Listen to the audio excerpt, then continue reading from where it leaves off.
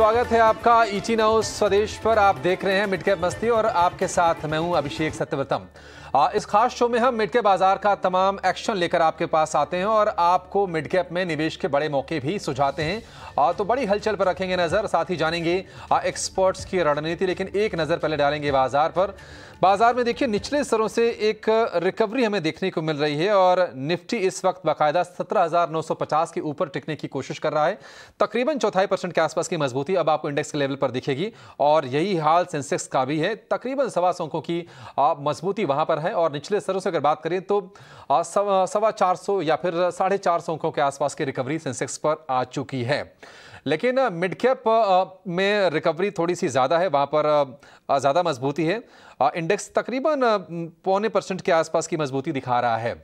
चलिए अब हमारे साथ जुड़ गए हैं हमारे एक्सपर्ट आज के एल के पी सिक्योरिटीज़ के गौरव बिस्सा। गौरव, बहुत शुक्रिया आपका समय देने के लिए। सबसे पहले आप ये समझना चाहेंगे, देखिए रिकवरी आज अच्छे संकेत दे रही है। हालाँकि शुरुआत मज़बूत हुई थी लेकिन हमने गोता लगाया शुरुआती कारोबार में ही।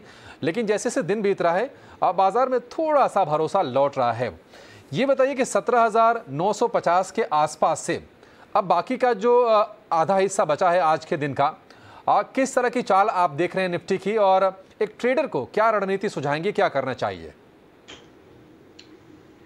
गुड आफ्टरनून देखिए, अगर निफ्टी की अगर बात की जाए तो अठारह हज़ार पे एक अच्छा खासा हर्डल है स्पॉट लेवल्स के हिसाब से। ऑप्शन चेन में अगर आप देखेंगे तो एक अठारह हज़ार एक कॉल में राइटिंग के हिसाब से लग रहा है कि इमीडिएट हर्डल जो है वो यहाँ पे आपको देखने मिल सकती है। तो मॉर्निंग में एक बाइंग के अच्छे मौके थे जब निफ्टी फ्लैट से स्लाइटली नेगेटिव थी, तब एक अच्छे बाइंग के मौके थे क्योंकि आवली चार्ट्स पे एक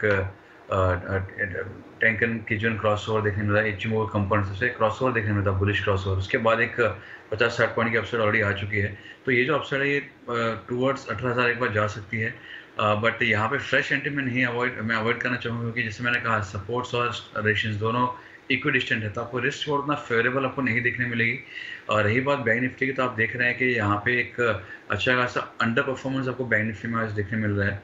यहाँ पे भी अगर आप देखेंगे मल्टीपल टाइम फ्रेम्स देख लीजिए, चाहे इंटरडे पर्सपेक्टिव में, पंद्रह मिनट का देख लीजिए, पैंतालीस मिनट या एक घंटे का देख लीजिए या दो घंटे का देख लीजिए, यहाँ पे सभी टाइम फ्रेम्स में बैंक निफ्टी के फ्यूचर्स जो है वो ट्रेड करें क्लाउड के नीचे। एक लेमन में क्लाउड के नीचे जो भी चीज़ है वो थोड़ी उसका ट्रेंड वीक ही होता है।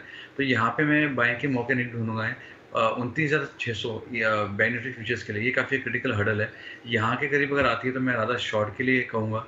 सौ सवा सौ पॉइंट का स्टॉप लॉस होगा, फिर वापस एक बार उनतीस हज़ार एक सौ के आसपास वापस आपको गिरावट देखने मिल सकती है। तो यहाँ पे एक उछाल आपको देखने मिल सकती है, जैसे आपने कहा, पर जब तक बैंक निफ्टी की क्लोजिंग उनतीस छः सौ के ऊपर फ्यूचर्स में नहीं हो रही, मैं इसमें बिल्कुल बाई की सलाह दूँगा मैं। और निफ्टी की क्लोजिंग जो है स्पॉट की, ये होनी चाहिए अठारह हज़ार के ऊपर, तब इसमें फ्रेश हम लोग एंट्री की बात कर सकते हैं। बाकी जो मॉर्निंग में जिसने बाय किया है वो आप और तीस पॉइंट के लिए आप होल्ड कर सकते हैं लेकिन फ्रेश एंट्री यहाँ पे मैं अवॉइड करूँगा। स्टॉक स्पेसिफिक है यहीं पे आप रहिए क्योंकि ज़्यादा मोमेंटम आपको नहीं देखने मिल रहा है इंडेक्स के अंदर। ठीक है तो निफ्टी के लिए 18,000 के ऊपर की क्लोजिंग ज़रूरी है और निफ्टी बैंक के लिए उनतालीस के ऊपर की क्लोजिंग की बात कर रहे हैं। और गौरव बिस्सा उसके बाद ही नई खरीदारी की सलाह देंगे। हालाँकि अगर निफ्टी बैंक में रिकवरी अगर आती है क्योंकि देखिए अगर बाज़ार में अगर थोड़े से भरोसे की कमी है अगर स्ट्रांग बाउंस बैक नहीं आ रहा है इंडेक्स के लेवल पर तो उसकी बड़ी वजह यही है कि निफ्टी बैंक तकरीबन 400 अंक नीचे है। और आज निफ्टी बैंक के जो कंट्रीब्यूटर्स हैं, अगर हम निफ्टी के गिरने वाले स्टॉक्स की बात करें तो उसमें आपको इंडस इंड बैंक सबसे ऊपर दिखेगा। जो एवर ग्रीनिंग के जो आरोप लगाए थे, जो बिसल ब्लोअर ने, उससे स्टॉक उभर नहीं पा रहा है। और बैंक ने जो कुछ भी सफ़ाई दी है, जो कुछ भी दलील दी है, शायद उस पर निवेशकों को भरोसा नहीं हो रहा है। हालाँकि बैंक ने एक थर्ड पार्टी ऑडिट की भी बात की है, जो चौरासी हज़ार लोन लोगों से बिना पूछे जो डिसबर्स किए गए थे। इसके अलावा एसबीआई का स्टॉक भी तकरीबन दो परसेंट ऊपर है नीचे है और वहाँ से भी बाज़ार पर प्रेशर बन रहा है और निफ्टी के सबसे ज़्यादा गिरने वाले शेयरों में ये भी शामिल है। और डिवीज लैब और एम एंड एम ये भी बाज़ार पर आज थोड़ा सा प्रेशर बनाने का काम कर रहे हैं ऊपर से नीचे खींचने का काम ये कर रहे हैं। आ, लेकिन मिड के बाज़ार में कहाँ पर एक्शन है? कौन से शेयर ज़्यादा तेज़ दौड़ लगा रहे हैं? कौन से शेयर आज सुस्त हैं? आप ये तमाम डिटेल लेकर हमारे सहयोगी शरद दुबे हमारे साथ जुड़ रहे हैं। शरद बताइए आप, आप मिड कैप में कहाँ पर एक्शन है? जी, बिल्कुल। मिड कैप में एक्शन जो है आपका स्पेशली जो एक्साइज कट हुआ था और आपके बहुत सारे ड्यूटीज़ कट हुए थे स्टेट लेवल देख लीजिए या सेंट्रल लेवल देख लीजिए, वहाँ पे आपके ओएमसी स्टॉक्स ले लीजिए सीमेंट स्टॉक्स ले लीजिए एविएशन स्टॉक्स ले लीजिए लॉजिस्टिक स्टॉक्स ले लीजिए, इन सब में जो है एक अच्छी खरीदारी देखने मिल रही है और अच्छे मूवमेंट देखने मिल रही है। ओवरऑल देखें तो लगातार जो है चौथे या पाँचवें सेशन में आपके मिड कैप की आउट परफॉर्मेंस हो रही है निफ्टी की और एडवांस डिक्लाइन रेशियो तो almost even stevens one is to one चल रहा है और जो प्राइवेट सेक्टर बैंक का है और जो फार्मा स्टॉक्स है, इन दोनों काउंटर्स में जो है अच्छी बीटिंग देखने मिल रही है, अच्छी सेल देखने मिल रही है। ओवरऑल देखिए मिड कैप गेनर्स पे फोकस करते हैं। तो टॉप गेनर्स में हमने लिए हैं Chalet hotels Prince pipe fittings E I H hotels और फिनिक्स मिल्स ये आपके रियल इस्टेट के जो एक कंपनी है फिनिक्स मिल्स वो जो है अनलॉक की थीम की प्रक्रिया भी, उसमें भी सेवन परसेंट का ग्रोथ है और होटल्स जो अभी फेस्टिव लॉन्ग वीकेंड फेस्टिव गया है तो उसमें भी होटल्स की ऑक्यूपेंसी बहुत अच्छे थे स्ट्रॉन्ग देखे थे। और अब जो है फेस्टिव सीज़न स्टार्ट हो गया है और ये जो है ऑलमोस्ट मार्च और अप्रैल तक जाएगा तो होटल स्टॉक्स भी रहेंगे फोकस पे इस पे। और ये सारे स्टॉक्स आप देखेंगे तो लगभग छः से लेकर आठ परसेंट तक का ग्रोथ दिखाएँ। पेट्रोल डीजल के जो दामों में जो कट के जो इम्पैक्ट वाले स्टॉक्स हैं, जिन्हें हमने मेंशन किया, उसमें जेके सीमेंट आपके top one of the top gainers हैं इस लिस्ट में। ऑलमोस्ट नौ परसेंट अप है महिंद्रा लॉजिस्टिक्स और बहुत सारे लॉजिस्टिक्स के और भी कंपनीज़ जो हैं लगभग सात परसेंट अप है। और स्पाइस जेट में भी एक अच्छी उछाल देखने मिली क्योंकि इनके भी जो है तीन परसेंट का ग्रोथ देखने मिला है। और उसके अलावा जो ए टी एफ़ प्राइसेज होते हैं एविएशन टर्बाइन फ्यूल के, उनके भी almost twenty to thirty percent component रहते हैं आपके टैक्सेस को लेके। और जो भी लॉजिस्टिक्स कंपनीज़ होते हैं, उनके भी ऑलमोस्ट ट्वेंटी से लेकर थर्टी परसेंट तक का जो है कॉस्ट होता है फ्यूल का। तो ये टाइप से बहुत पॉजिटिव मोमेंटम माना जाएगा। ये सारे सेक्टर्स को देखते हुए। मिड कैप लूजर्स की भी बात कर लेते हैं तो उसमें one of the top losers है सन टीवी नेटवर्क्स उन्होंने दूसरी तिमाही के नतीजे आए। ओवरऑल ऑपरेशनल नंबर्स अच्छे आए, लेकिन एक अच्छा प्रॉफिट बुकिंग देखने मिल रहा है। स्टॉक पाँच परसेंट डाउन है। और ये सेम कहानी जो है हम रियल इस्टेट स्पेस से शोभा के लिए ले सकते हैं और नज़ारा टेक के लिए ले सकते हैं, जिनमें जो है कंटिन्यूस सेलिंग प्रेशर देखने को मिला है। और ये दोनों स्टॉक्स भी लगभग तीन से लेकर चार परसेंट तक का डाउन टिक देखने मिला है। और खबर के दम पे भी कुछ स्टॉक्स हैं जो न्यूज़ पे रहेंगे। स्पाइस जेट को वापस लाना चाहूँगा। आप चार्ट भी दिखा सकते हैं।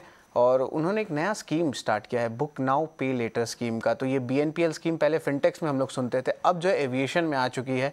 और इस स्कीम में आप जो है पहले बुक कर सकते हैं और तीन या छः या नौ महीने के जो ई एम आई इंस्टॉलमेंट्स है, उसमें आप पे पे कर सकते हैं। स्टॉक में पॉजिटिव रिएक्शन अभी दिख भी रहा है।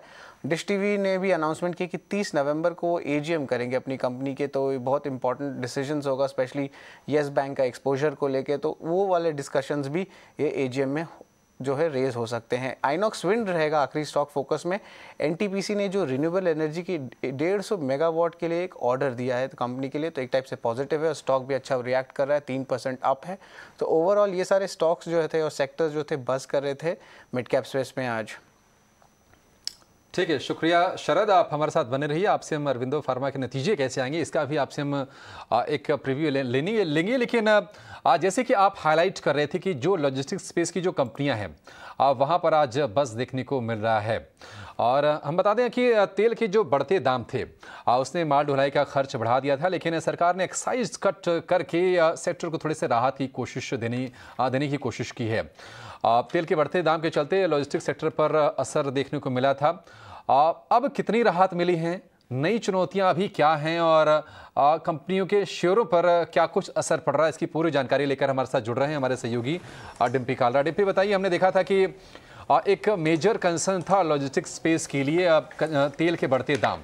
सरकार ने राहत तो दी है, लेकिन इस राहत के बाद क्या माने कि अब जो कुछ चुनौतियाँ थी, वो शॉर्ट टर्म में ख़त्म हो गई हैं या फिर अभी कुछ टेंशन बाकी है अभी? विषय चुनौतियाँ तो खत्म नहीं हुई है, चुनौतियाँ अभी भी बाकी हैं, लेकिन हाँ जो शॉर्ट टर्म मोमेंटम जिसे हम कहते हैं ना कि जैसे सरकार ने फौरी तौर पर आपको राहत दी तो फौरी तौर पर जो तेज़ी है, वो आपको दिख रही है और क्लब हुई है इस बार फेस्टिवल सीज़न के साथ। असल में ये शेयर ऐसा नहीं है कि सिर्फ़ ये वैट घटने से ये शेयर चले हैं। हालाँकि मैं आपको एक एक सिलसिलेवार तरीके से एक एक पॉइंट इसका बताता चलता हूँ कि क्यों ये लॉजिस्टिक शेयर्स के अंदर तेज़ी आ रही पहला जो आपने रीज़न नोटिस करवाया, वो तो वैट ही है। पाँच रुपये पेट्रोल के और दस रुपये डीजल के दाम कम होने का मतलब ये होता है कि दस percent of the total cost कम हो जाना जो कि आपकी फ्यूल की पड़ रही है। क्योंकि डीजल ज़्यादातर स्टेट में एवरेज सौ रुपये लीटर का है और अगर दस रुपये कम होता है तो इसका मतलब ten percent of the total cost कम हो गई। आप इसको दो तरीके से देख सकते हैं, या तो मार्जिन आपके दस परसेंट से बढ़ गए, या तो आपके टोटल कॉस्ट दस परसेंट से कम हुई है। आप इसको वैट या फ्यूल के कैटेगरी के हिसाब से ना देखें तो आपको बैलेंस शीट का ज़्यादा पॉइंट दिखेगा। दूसरी इंपॉर्टेंट बात, ज़्यादातर राज्यों ने पहले सिर्फ़ बीजेपी शासित राज्यों ने किया, अब गैर बीजेपी शासित राज्य भी कर रहे हैं तो उसका बेनिफिट भी इनकी बुक्स में आएगा, आगे चल के भी आएगा। तीसरी इंपॉर्टेंट बात, जो कि long term point of view से हम देख रहे हैं बार बार लॉजिस्टिक शेयर्स को वैल्यू को अनलॉक करती है, वो है जीएसटी और ई वे बिल्स जब से सरकार ने ई वे बिल्स को लागू किया है, तब से आप जिसको हम चुंगी कहते थे, पहले ऑक्ट्रॉय टेस्ट ऑक्ट्रॉय वगैरह ड्यूटीज़ कहते थे, वो कम्प्लीटली फ्री है। अब आप एक बार ई वे बिल लेते हैं और आप अक्रॉस इंडिया कहीं भी आप जा सकते हैं, जो भी आपका डेस्टिनेशन है। एक और चीज़ जो दिखी, वो इंटरेस्टिंग ये थी कि पिछले दो साल में अभिषेक, पहली बार ऐसा हुआ है कि यातायात के सभी मीडियन खुले थे, चाहे वो एयरवेज हो, चाहे वो रेलवेज हो, चाहे आपके रोडवेज़ हो, जबकि पिछली दिवाली पर ऐसा नहीं था। तो इस बार मीडियन ज़्यादा खुलने से जो ट्रांसपोर्टेशन हुआ, उसकी कॉस्ट इफेक्टिवनेस वो इनकी लॉजिस्टिक कंपनीज़ के पास आई है, क्योंकि इन्होंने ज़्यादातर हिस्सा रेलवे का इस्तेमाल किया और रेलवे फुल फ्लैच तरीके से अभी कमर्शियल अपना काम शुरू कर चुकी है। एक और चीज़ जो बड़ी इंटरेस्टिंग दिखती है, जो इस सेक्टर के लिए अनलॉक कर सकती है वो है इसका ऑर्गेनाइज्ड अनऑर्गेनाइज से ऑर्गेनाइज्ड होना। बहुत सारी कंपनीज़ ऐसी आ चुकी हैं देश में जो लिस्टेड भी हैं और ऑर्गेनाइज्ड भी हो रही हैं, क्योंकि 90 परसेंट बड़ा मार्केट था अनऑर्गेनाइज अनऑर्गेनाइज मार्केट था लॉजिस्टिक का, जो अब ऑर्गेनाइज की तरफ़ बढ़ रहा है। तो ये आगे चल के बड़ा बेनिफिशियरी होने वाला है पूरे सेक्टर्स के लिए।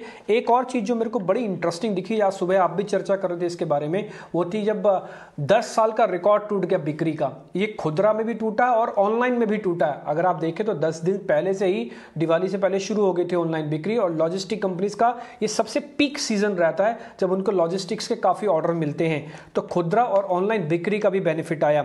फ़सलों की कीमत बढ़ने से, शहरों में सैलरी बढ़ने से डिस्पोजेबल इनकम जो बढ़ी है, उसका सीधा सीधा बेनिफिट मिला। आपने जो चैलेंजेस पूछे थे कि चैलेंजेस अभी भी क्या हैं, वो चैलेंजेस अभी भी यही है कि आगे चल के अगर पेट्रोल के दाम बढ़ते हैं तो उनको अपने मार्जिन को मेंटेन रखना होगा।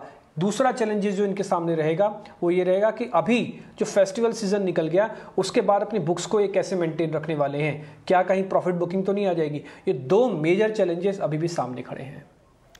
ठीक है तो पॉजिटिव्स कई सारे हैं, लेकिन आज जैसा कि डिम्पी बता रहे थे कि अगर तेल के दाम यहाँ से फिर से बढ़ते हैं तो मार्जिन को मेंटेन करने को लेकर कंपनी को दिक्कतें झेलनी पड़ सकती हैं। डिम्पी बहुत शुक्रिया आपका इस पूरे एनालिसिस के लिए और बहुत ही बेहतरीन ढंग से ये समझाने के लिए कि लॉजिस्टिक स्पेस को किस तरह से फ़ायदा हो रहा है और क्या कुछ चैलेंजेस अभी बाकी हैं। गौरव, हम देख रहे हैं कि जो तमाम कंपनियाँ हैं लॉजिस्टिक स्पेस की, चाहे महिंद्रा लॉजिस्टिक्स हो या फिर वी लॉजिस्टिक्स हो, वहाँ पर एक अच्छी तेज़ी है छः से सात परसेंट की मजबूती है। आपको इस स्पेस में क्या कोई कंपनी पसंद आ रही है? क्योंकि हम मिड कैप मस्ती की बात कर रहे हैं तो मिड कैप कंपनियों की ही बात हो रही है। देखिए, इसमें अगर बात की जाए तो गति जो है, इसने एक प्रीवियस स्विंग हाई क्रॉस किया है तो एक सौ सत्तावन के स्टॉप लॉस से आप ये बाय कर सकते हैं। ऊपर में अगर देखो तो एक सौ बहत्तर से एक ये आपके लेवल्स आ रहे हैं डायरेक्टली रेशंस के। और इसके ऊपर क्लोज होता है तो आपको फ्रेश एक ब्रेकआउट आपको देखने मिलेगा। तो अगर कंपेयर किया जाए जहाँ पे वॉल्यूम्स भी अच्छे हो और जहाँ पे ट्रेंड और मोमेंटम भी अच्छा हो तो लग रहा है कि गति में आप एक बार इसमें ज़रूर ध्यान दे सकते हैं। ठीक है, गति का शेयर पाँच परसेंट ऑलरेडी ऊपर है, लेकिन यहाँ से और इसमें तेज़ी बन सकती है। अगर आपको ये सेक्टर पसंद आ रहा है या या फिर अगर आपको ये भरोसा जग रहा है कि शायद यहाँ से स्थिति और सुधरेगी तो एक बेहतर प्ले साबित हो सकता है। लेकिन आज अरविंदो फार्मा के नतीजे भी आने वाले हैं और और नतीजों को लेकर क्या अनुमान है? क्या उम्मीद रखनी चाहिए अरविंदो फार्मा से? ये बताने के लिए हमारे साथ शरद जुड़े हुए हैं। शरद, बताइए, क्या उम्मीद करनी चाहिए अरविंदो फार्मा से? ओवरऑल मैं बता दूँ कि जो फा, जो दूसरी तिमाही के नतीजे हैं फार्मा कंपनीज़ के, थोड़े सॉफ्ट आए हैं और इसमें जो है रॉ मटेरियल प्राइस का जो है बढ़त के कारण मार्जिन पे इम्पैक्ट पड़ा है और दूसरा जो यूएस मार्केट्स को एक्सपोर्ट करते हैं, वहाँ पे प्राइस इरोशन देखने मिला है। और ये जो है जो औरबिंदो फार्मा भी इसी फोकस में रहेगा। सेल्स के बारे में या जो रेवेन्यू के बारे में देखें तो सात परसेंट का डाउनटिक का अनुमान है। पैट में भी चौदह परसेंट का गिरावट देखेगा, जो ऑलमोस्ट सात सौ सत्तर सेवन हंड्रेड सेवेंटी करोड़ पे आएगा और एबिडा में भी जो है इलेवन परसेंट का मार रहेगा और मार्जिन लगभग सौ बेसिस पॉइंट्स नीचे इक्कीस परसेंट पे आएगा। यूएस सेल्स की बात करें तो सपाट रहेंगे, अगर आप सिक्वेंशियली देखें या ईयर ऑन ईयर बेसिस देखें और ओवरऑल जो है इंटरेस्ट कॉस्ट बढ़ी है और आरएनडी कॉस्ट भी बढ़ी है तो उसके कारण जो है बॉटम लाइन नंबर्स पे एक टाइप से इम्पैक्ट पड़ने वाला है। तो ओवरऑल जो है हम लोग एक्सपेक्ट कर सकते हैं कंपनी की मिक्स्ड नंबर्स या वीक नंबर्स आएँगे। जो जो एक्सपेक्टेड है एक्चुअली फार्मा सेक्टर के कंपनीज़ में और आज हम देख सकते हैं कि डेविस लैब्स में भी वो जो है इम्पैक्ट देखने मिला जब उनके दूसरे तिमाही के नतीजे आए जो अनुमान से कम आए थे। बिल्कुल डिवीज लैब के भी जो एविडा के जो नंबर थे, उसने बाज़ार को डिसअपॉइंट किया था। उसके चलते डाउनग्रेड्स भी आए। जेफरीज ने उनको डाउनग्रेड किया, लक्ष्य भी कट किए। और अरविंदो फार्मा के नतीजों को लेकर भी मिला जुला रुझान ही रहने की उम्मीद है। और मुनाफे में चौदह परसेंट गिरावट की यहाँ पर आशंका है और मार्जिन पर भी प्रेशर आएगा। गौरव, अरविंदो फार्मा नतीजों को लेकर कुछ खास उत्साहजनक आंकड़े नहीं शेयर किए हैं शरद ने और ये बताइए कि उसके पहले क्या करना चाहिए, क्या सलाह आप देंगे? देखिए, अगर और फर्मा की बात की जाए तो एक काफ़ी क्रिटिकल एक लेवल्स पे आ रहा है, जो इसने प्रीवियस पैनिक लो बोल दो या स्विंग लो जो बनाया था 660 के करीब का। ये आज का जो अगर आप लो देखोगे तो एकदम उसके बाजू में ही है आज का लो भी तो मैं समझता हूँ, अगर 660 के नीचे अगर क्लोजिंग अगर आ जाती है तो आपको यहाँ पे प्रेशर जो है काफ़ी इंटेंस आपको देखने मिल सकता है। और स्टॉक जो है वो फिर एक बार लुढ़क के मिनिमम ये जो है 600 के करीब स्टॉक जा सकते हैं। तो अगर किसी ने पहले होल्ड किया हुआ है, कोई भी लेवल चाहे किसी की होल्डिंग ऊपर के लेवल पे भी 660 के नीचे अगर क्लोजिंग आ रही है तो स्टॉक के लिए काफ़ी ख़राब हो जाएगा और एक स्ट्रक्चर से काफ़ी बिगड़ जाएगा। किसी को फ्रेश शॉट भी करना है तो अगर आज तीन बजे तक अगर ये 660 के नीचे है तो नतीजे है जैसे आपने कहा तो पुट लेके चले जाइए तो आपको पैसा मिल सकता है। क्योंकि छः सौ साठ के नीचे क्लोजिंग हो जाती है तो ये गैप डाउन ओपन होने की संभावना काफ़ी बढ़ जाती है। तो यहाँ पे स्ट्रक्चर जो है काफ़ी वीक है। सिक्स सिक्सटी का इसमें सपोर्ट है। आ, मैं बाई की सलाह बिल्कुल नहीं दूँगा लेकिन सिक्स सिक्सटी के नीचे का जाता है तो आप इसमें एक बार मंदी के सौदे इसमें बिठा सकते हैं। ठीक है छः सौ साठ रुपये का जो स्तर है उस पर नज़र रखिए उसके नीचे अगर ये शेयर लुढ़कता है तो कमज़ोरी और गहराएगी और छः सौ रुपये तक ये शेयर गिरता हुआ दिखाई देगा। गौरव आप डिवीज पर भी राह दीजिए। देखिए इसके नतीजे आए थे। नतीजे के बाद इस शेयर की भी पिटाई हो रही है और शुरुआती सत्र में जो ये स्टॉक गिरा उसके बाद रिकवरी के भी कोई संकेत नज़र नहीं आ रहे हैं। आ, तमाम ब्रोकरेज ने इसको डाउनग्रेड डाउनग्रेड भी किया है। जेफरीज ने इस पर अपनी रेटिंग घटाई है और टारगेट भी कट किए हैं। डिवीज़, अब क्या ये स्टॉक यहाँ पर एक ठहराव लेगा? या फिर अभी खतरे इसमें बाकी हैं, अभी और गिर सकता है ये? देखिए डिविस में थोड़ी बहुत गिरावट और मुझे लगता है पॉसिबल है। सौ, सवा सौ पॉइंट की गिरावट पॉसिबल है। लेकिन शॉर्ट्स मत कीजिए, काफ़ी एक डाउन साइड आपको ऑलरेडी देखने मिल चुकी है।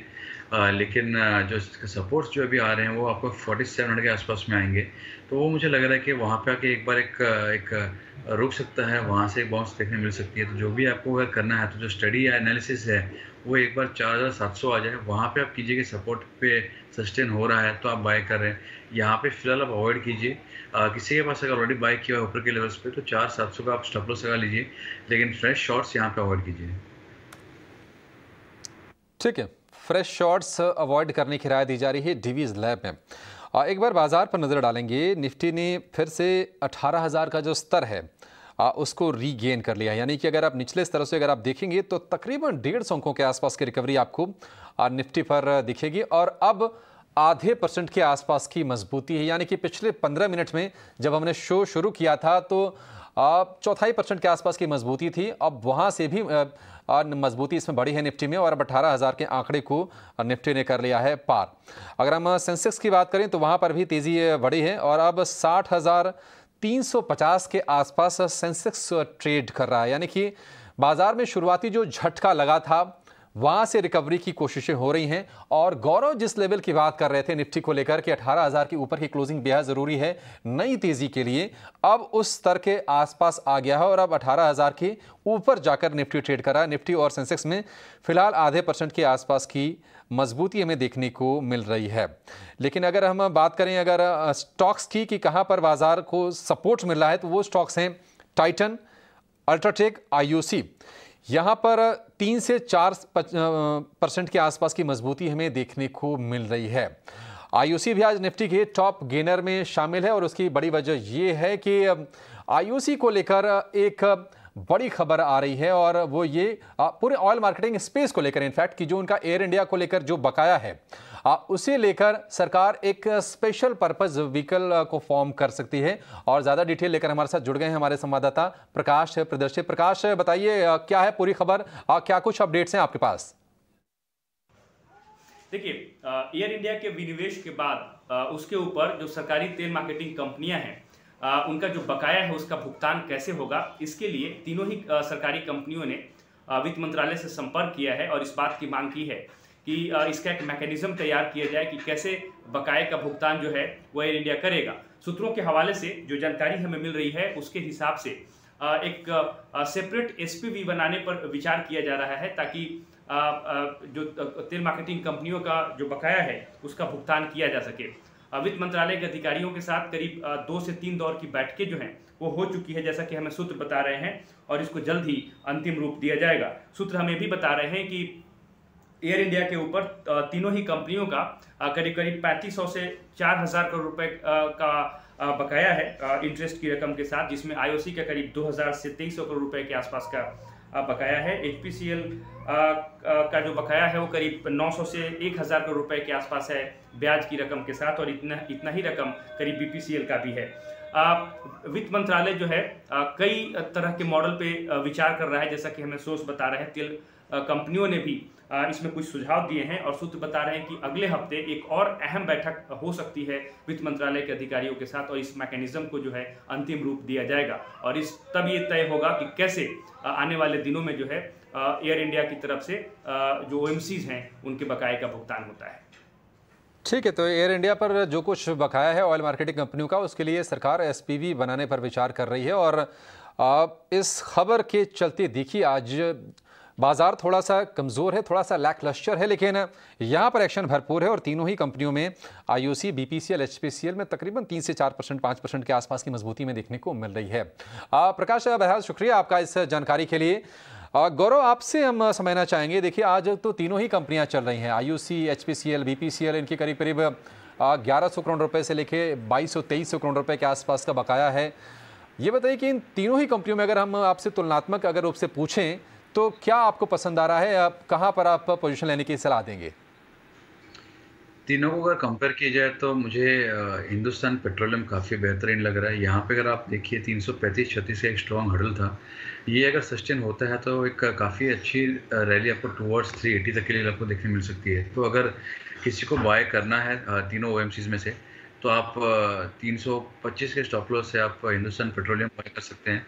मैं ये नहीं कहता हूँ कि दूसरे स्ट्रक्चर्स अच्छे नहीं है, लेकिन कंपेयर किया जाए तो सबसे क्लीन और सबसे अच्छा जो स्ट्रक्चर है वो मुझे लग रहा है एच का। तो वहाँ पे मेरा जो है वो बाय रिकमेंडेशन उस पर ही होगा। ठीक है। एच में खरीदारी की सलाह दे रहे हैं लेकिन गौरव, देखिए, बाज़ार में अब जिस तरह से एक मज़बूत रिकवरी आई है, अब सेंसेक्स निचले स्तरों से तकरीबन साढ़े पाँच सौ अंक ऊपर है। और निफ्टी की बात करें तो वहाँ पर भी डेढ़ सौ पौने दो सौ से लेकर दो सौ अंकों के आसपास की रिकवरी आ चुकी है। कहाँ पर आप ट्रेड करने की सलाह देंगे? आपके फेवरेट काउंटर्स कौन से हैं आज? अगर स्टॉक्स की अगर बात की जाए तो एक सीमेंट्स पे जैसे आपने कहा आज काफ़ी अच्छा एक रहा है तो एक बिरला कॉप अच्छा लग रहा है। यहाँ पे 1750 के लेवल के लिए आप बाय कर सकते हैं। 1530 का इसमें स्टॉप लॉस होगा। इसमें अगर आप देखेंगे तो वीकली चार्ट अगर आप देखते हैं तो एक डार्वस बॉक्स थियरी जो हम कहते हैं, उसका एक ट्रिगर हो चुका है बाई का। वॉल्यूम पार्ट अच्छा है ब्रेकआउट्स काफ़ी अच्छे हैं। और दूसरा अगर रिकमेंडेशन होगा, वो है श्रीराम ट्रांसपोर्ट फिनेंस में। यहाँ पे अगर आप देखेंगे तो अगेन एक काफ़ी कंसल्टेशन के बाद में अच्छा एक ब्रेकआउट आपको देखने मिला है सोलह के ऊपर। पंद्रह सौ सत्तर के स्टॉप लॉस से आप बाय कर सकते हैं श्रीराम ट्रांसपोर्ट यहाँ पे जो लक्ष्य होगा, वो सत्रह सौ बीस का होगा। पोजिशन के कोई देखता है तो इसमें आपको काफ़ी बड़े लेवल से आपको देखने मिल सकते हैं टारगेट्स वगैरह के लिए। लेकिन एक मोमेंटम पाँच सात दिन के लिए, दस दिन के लिए वो प्ले करता है। तो उसके लिए भी श्रीराम ट्रांसपोर्ट जो है काफ़ी बेहतरीन लग रहा है। ठीक है, बिरला कॉर्प और श्रीराम ट्रांसपोर्ट में ट्रेड करने की सलाह दे रहे हैं, गौरव। गौरव, बहुत शुक्रिया आज आपका समय देने के लिए और बाज़ार के साथ तमाम स्टॉक्स पर अपनी रणनीति हमसे साझा करने के लिए। चलिए शो को यहीं समेटेंगे और एक छोटे से